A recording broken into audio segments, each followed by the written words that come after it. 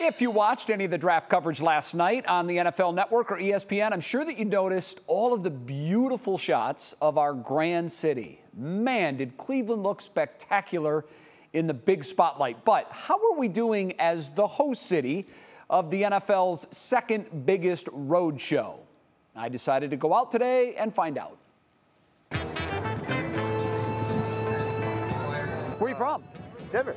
Reed came all the way? Came all the way. Bro! We got to we got to talk, bro. We got to yeah. talk. Big Steelers fan, huh? Sure am. You came all the way from Texas? Wow. We're asking folks that have come from out of town, how are we doing with the draft? Well, I'm glad it stopped raining. Yeah. That's been wonderful. And everybody has been incredibly friendly. Cleveland and Pittsburgh have, you know, their rival. Look at Steelers fan. yeah, that's what I thought. Well, I actually had someone that works inside of the stadium come up to me and say, Oh, a Steelers fan? Oh, I forgot it's the draft. You're okay today. Everybody has been friendly. Has Cleveland, in your view, been an extra point, a safety, a field goal, or a touchdown? What's um? We'll go safety. What? What? Safety? Dude, I would almost rather have a safety than a, than a touchdown. Safeties are so much more fun to watch. Yeah, but safety's two, touchdown seven. Give us the two point conversion eight. I think a touchdown. There you go. I really do. All I- right, that's what I- I'm talking about. Everything is clean and wonderful, so it beat everything. You know, you just don't know when you go to another city, and, and everybody's been so friendly. There's a ton of, of course, Cleveland Browns fans around. You can't control the weather, but that's why you get a safety, you know?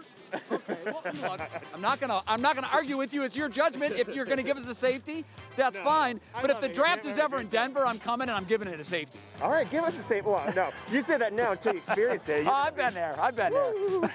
Wait, how am I gonna be? Did you, did you get that? Can we get a touchdown? Yes. Can we go for two? Yes. Wait, we get eight points. Wait, that's the highest score so far. he came all the way from Kansas City, and it was funny. He was with his son, who's a high school senior.